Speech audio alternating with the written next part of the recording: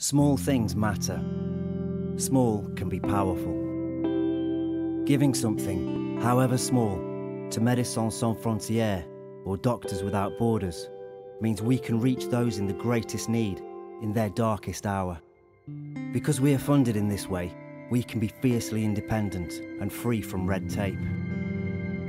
Our simple aim is to help people who are victims of violence, malnutrition, disease, and disasters. We're a truly international organisation, free from political affiliation and influence.